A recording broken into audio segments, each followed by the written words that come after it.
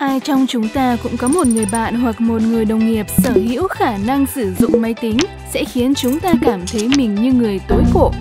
Họ hầu như không chạm vào chuột, màn hình của họ sáng lên với đủ các loại tác vụ và hộp công cụ, còn ngón tay của họ thì lướt nhanh như chớp trên bàn phím.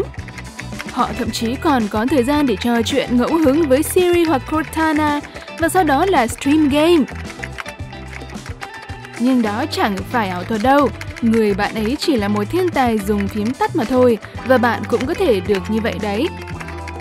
Cùng bắt đầu với một kỹ năng mà chuyên gia máy tính nào cũng cần biết nhé. Số 1 Tạo màn hình ảo Hãy tưởng tượng rằng bạn đã thực hiện một dự án hoặc một nghiên cứu nào đó cả ngày hôm nay và vẫn chưa xong, nhưng giờ bạn cần giải quyết một công việc khác ngay lập tức. Việc mở tab và cửa sổ mới sẽ chỉ làm bạn chậm lại và khiến quy trình làm việc của bạn rối tung cả lên. Vì vậy, bạn cần một màn hình trống khác. Chỉ cần nhấn phím Windows cộng Ctrl cộng D hoặc Ctrl cộng Up nếu dùng máy Mac. Máy tính sẽ chuyển sang một màn hình mới hoàn toàn và thế là bạn bắt đầu được rồi. Số 2 chuyển đổi các màn hình ảo. Ok, nhưng đống công việc quan trọng bạn vừa mới làm đâu nhỉ? Nào có biến mất luôn không? Đừng hoảng hốt, nó chỉ đang ẩn mà thôi.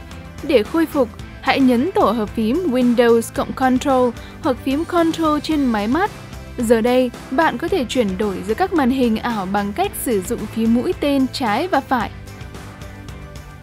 Khi đã hoàn thành công việc thứ hai và chắc chắn rằng mình không cần màn hình đó nữa, bạn có thể đóng lại bằng cách nhấn Windows cộng Control cộng F4. Trên Mac, giữ phím Option và nhấp vào dấu X xuất hiện trên màn hình đang mở để đóng nó.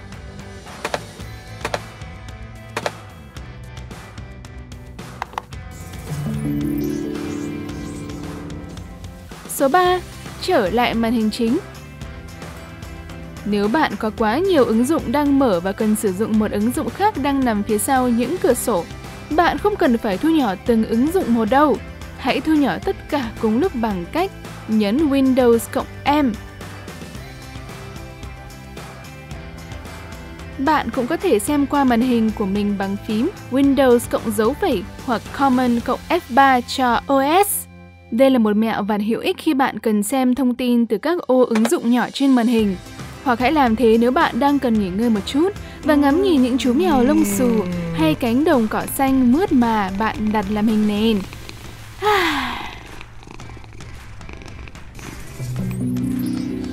Số 4. Mở một ứng dụng từ thanh tác vụ.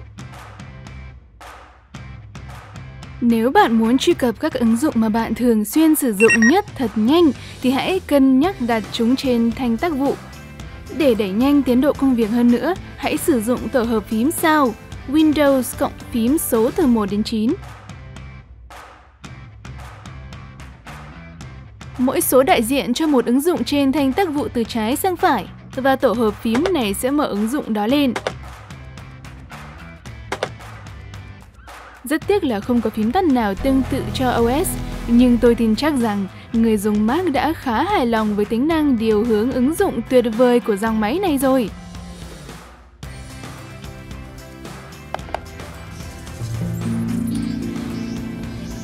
Số 5.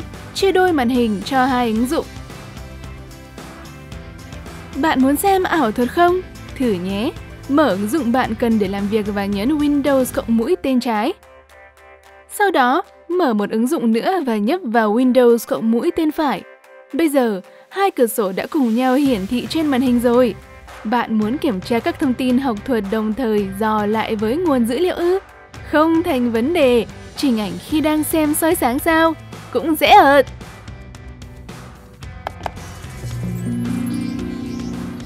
Số 6. Chuyển đổi ứng dụng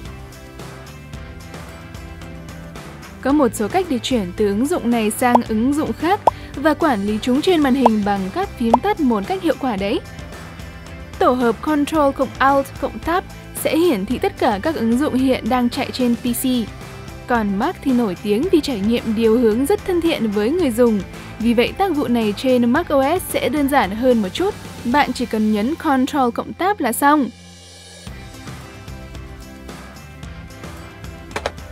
Còn một cách nữa đó là mở Task View, nhấn Windows cộng Tab cho PC và tương ứng trên Mac là Mission Control. Nó sẽ giúp bạn nhìn được tổng thể các cửa sổ đang mở và các màn hình có sẵn. Cách này thuận tiện hơn nhiều. Và cuối cùng là tổ hợp phím Alt cộng Tab hoặc Command cộng Tab trên máy Mac sẽ cho phép bạn hoán đổi các cửa sổ mà không cần hiển thị trước.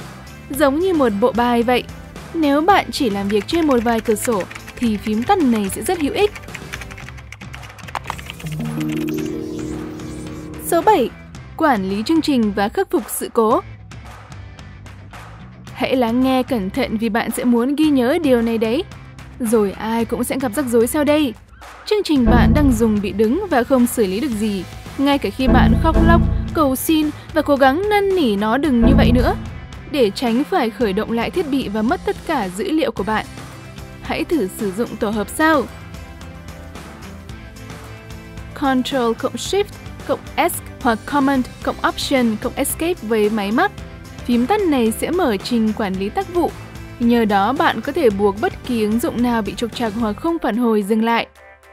Mất một chút dữ liệu từ chương trình bị lỗi sẽ khác với việc mất hết dữ liệu từ tất cả các ứng dụng đấy. Số 8. Mở File Explorer bạn không cần mở sẵn tất cả các ứng dụng để làm việc nhanh hơn đâu. Một vài trong số đó là các ứng dụng tiêu chuẩn được cài vào máy từ trước và chúng ta có một cách nhanh chóng cũng như thuận tiện để truy cập chúng. Hãy nhấn phím Windows cộng E để mở trình quản lý tập tin trên PC. Đối với máy Mac thì đó là ứng dụng Finder.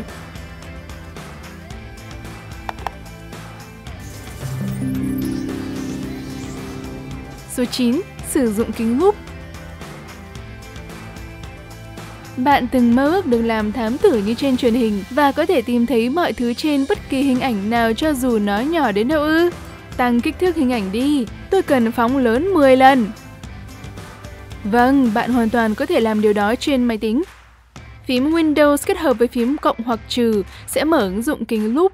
Nó giúp bạn phóng to và thu nhỏ bất cứ điểm nào mà bạn di con trỏ đến. Mac OS cũng có thể làm tương tự, nhưng bạn cần sử dụng tổ hợp phím Alt, Command và cộng để thu phóng.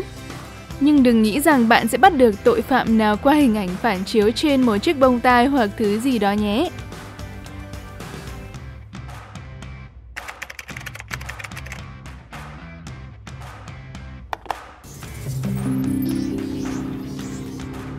Số 10. Chụp màn hình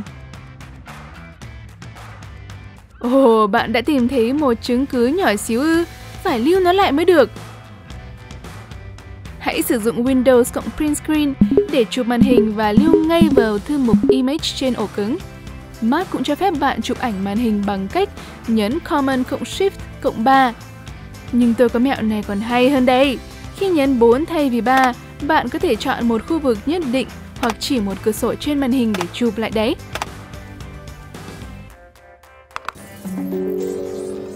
Số 11. Sử dụng trung tâm hoạt động Thiết lập Bluetooth, kết nối với các thiết bị trong hệ thống, sử dụng PC làm chạm phát Wi-Fi, bật tắt thông báo, những tác vụ đó cùng nhiều chức năng khác trong các phiên bản sau này của Windows có sẵn ở một nơi gọi là trung tâm hoạt động. Để mở, hãy dùng tổ hợp phím Windows cộng A.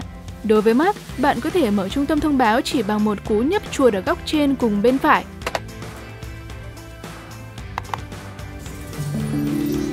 Số 12. Truy cập vào cài đặt Nếu bạn cần hiệu chỉnh hoặc truy cập vào các thông số nâng cao của PC thì cũng đơn giản thôi. Hãy sử dụng phím Windows cộng I để làm điều đó.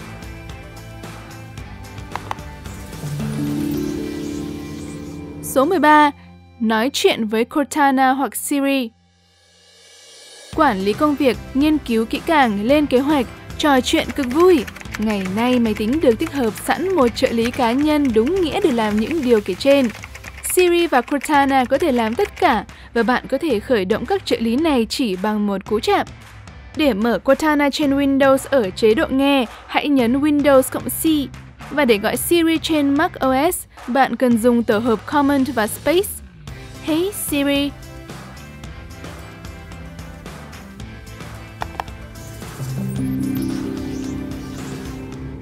Số 14. Sử dụng thanh trò chơi Bạn đã làm việc chăm chỉ cả ngày và dùng đủ các loại phần mềm. Bạn trở về nhà và muốn được thư giãn cũng như vui vẻ chơi game. Đây rồi, khoảnh khắc sung sướng khi bạn đánh bại chùm cuối hoặc lúc bạn cùng bạn bè có một thương vụ hài hước hay một trận chiến tuyệt đỉnh trong game mà các bạn đang chơi chung. Giá mà bạn có thể ghi lại khoảnh khắc đó mãi mãi nhỉ? Thật ra, thứ bạn cần lại có sẵn trong tính năng thanh trò chơi trên PC. Bạn có thể sử dụng nó bất cứ lúc nào bằng cách nhấn phím Windows cộng G để thiết lập ghi hình thủ công. Nhưng chưa hết đâu nhé, thanh trò chơi còn có một phím tắt để bắt đầu hoặc dừng quay. Chỉ cần nhấn Windows cộng Alt cộng R, bạn còn có thể bắt đầu phát trực tuyến bằng cách nhấn phím Windows cộng Alt cộng B.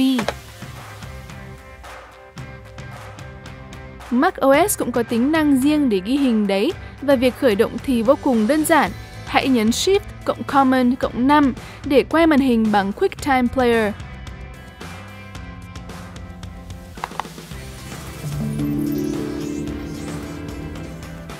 Số 15. Khóa máy tính Giả sử bạn đang dùng chung máy tính với gia đình hoặc đồng nghiệp và bạn đã dành cả ngày để tìm kiếm món quà hoàn hảo cho mẹ hoặc đang rửa tay làm việc và không muốn ai biết về điều đó. Rồi đột nhiên bạn cần rời khỏi máy tính, nhưng không muốn ai nhìn thấy những thứ bạn làm thì bạn có thể nhanh chóng khóa tài khoản của mình. Chỉ cần nhấn Windows cộng L hoặc Shift cộng Command cộng Q trên máy Mac. Tuy nhiên, nhớ phải thiết lập mật khẩu từ trước và đừng quên mất nó nhé. Nghe hay đấy chứ?